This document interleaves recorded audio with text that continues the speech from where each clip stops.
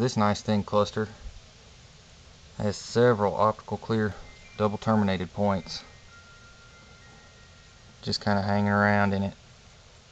Very very pretty piece.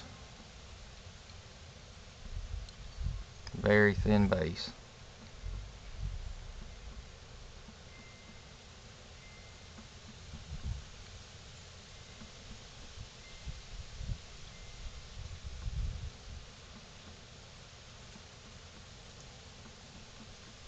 You can see there's just one little piece of sandstone down on the bottom of this one.